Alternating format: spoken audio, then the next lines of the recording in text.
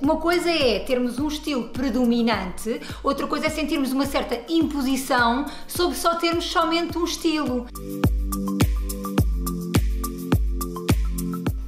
É como ouvimos dizer, quando se começa um projeto, tem que somente pensar num, num, estilo e o resto é só coordenar entre si, que é muito fácil. Isto para mim é mesmo um mito, não é? A casa é o reflexo das pessoas que habitam na casa.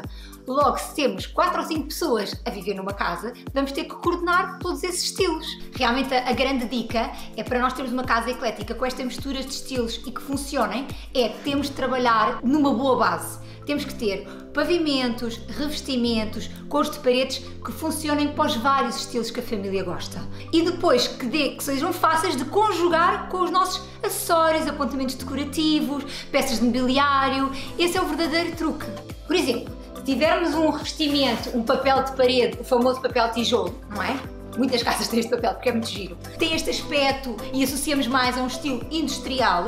Também fica lindamente numa casa campestre porque parece que é aquele tijolo que já lá estava e a casa está meio podre, mas faz parte do carisma da casa, não é?